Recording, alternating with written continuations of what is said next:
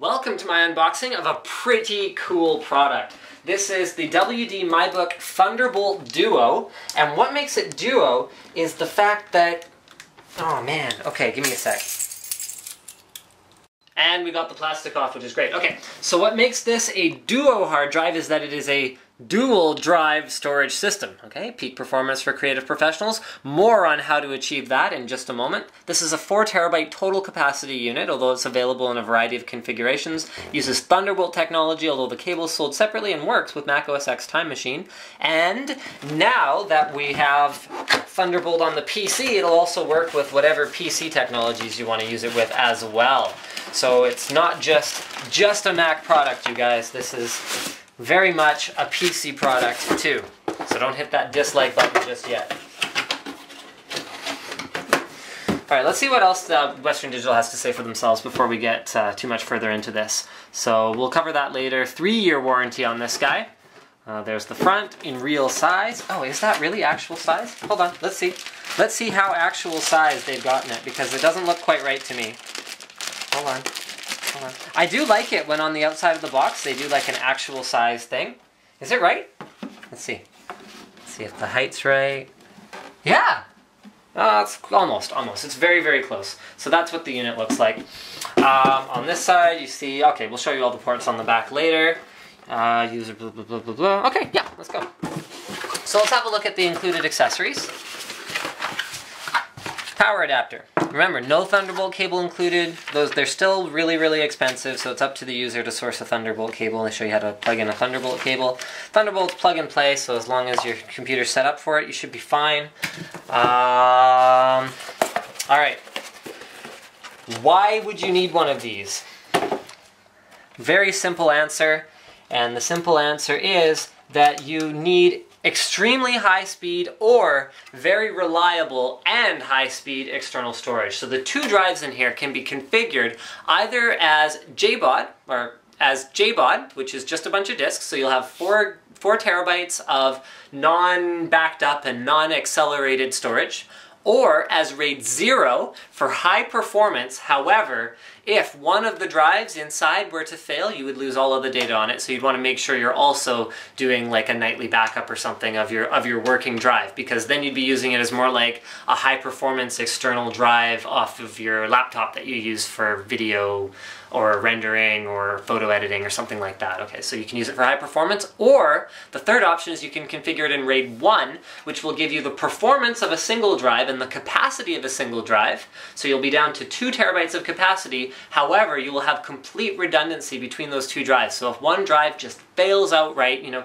you drop the Thunderbolt Duo off your desk and one of the drives doesn't work anymore, you're still okay. All your data will be there. So JBOD, which gives you 4 gigs, normal speed, and if one drive dies, only the data on it is lost, the other data is fine. So there's that. Then there's RAID 0, which is high performance, 4 terabytes of capacity, but increased risk of data loss. And then there's RAID 1, which gives you single drive performance and perfect data recovery in the event of a hardware failure. So the unit itself is pretty, pretty plain. You got your activity LED, your WD logo, pretty plain on this side. Don't worry, these aren't, these marks aren't real. These are just bits of packaging. Uh, pretty plain on this side as well. On the back, you find the business end. This is where we've got two Thunderbolt ports, so you can use it as a pass-through. If you have multiple storage devices, or if you have other Thunderbolt devices, remember, there's not much now, but more is coming.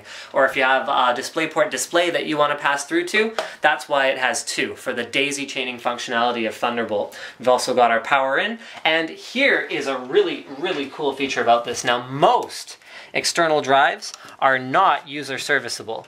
This one, ah, there we go, is. So all you gotta do is pop the top, and I'm learning this in real time. I have done no preparation on how to, uh, how to swap out a drive. Simply open the case and exchange the existing drive. No tools needed. Look at that. Okay, so there's a little uh, ventilated uh, piece there. So actually, let's have a look at the ventilation. So you got vent holes at the bottom, vent holes. No, no vent holes at the back. So they're relying on natural convection. Rubber feet here to get, keep it a little bit off the table. Cold air will come in here, rise, and then go out of the top of the unit. Great. Okay, so how are these, uh... Oh, okay, I think I get it.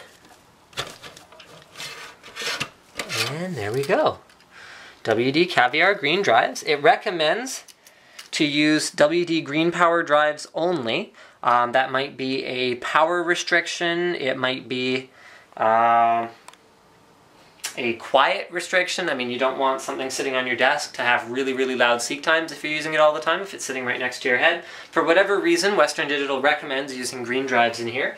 So it's that simple. All you gotta do is take out these screws, one, two, take this piece and put it on the screw when you put it into the new drive as well, so that you'll actually be able to remove the new drive, and you could, oh, that's, that's cool. So they're not locking you into this external storage unit. They're actually giving you the option to go, oh, well, two two terabyte drives isn't enough for me anymore, and now there are six terabyte you know, green drives. I can just buy a couple of those, throw them in there, and then I'm ready to have a way, way bigger external Thunderbolt storage solution because Thunderbolt is a standard that's going to matter for a long time now and you're getting a much better value with a product like this if you're going to be able to keep using it over an extended period of time. So that's actually very, very big of them to go ahead and do that. So I'm just trying to uh, get this back in at some point here. You know what? I'm not going to stress about it too much, but I think I got it now. Let's have a... Yeah, there's a cat. Thank you, Slick, for contributing that to the, uh, to the video today. There we go, I got it. So let's see if there's anything else that we're missing here. Right, so extra performance with RAID 0, RAID 1 mirrored, do more work in less time. Right, why would you want a Thunderbolt external drive? I mean, I covered this very briefly before, but might as well yeah, yeah, it's fast. Okay, there's that. Thank you for that contribution. Thunderbolt is up to 10 gigabit per second, although until hard drives get a fair bit faster, even with RAID 0, we're not going to max that out. We're going to need, like, Uber drives. Um, this is for professionals, this is for notebook users. If your notebook has Thunderbolt, then you can use this for huge mass storage on your desk that you can quickly and easily plug in. So you plug in one cable, boom, your desktop monitor's on, your, uh, your storage is connected, and you don't have to sort of fumble around with a bunch of different cables. So there's that.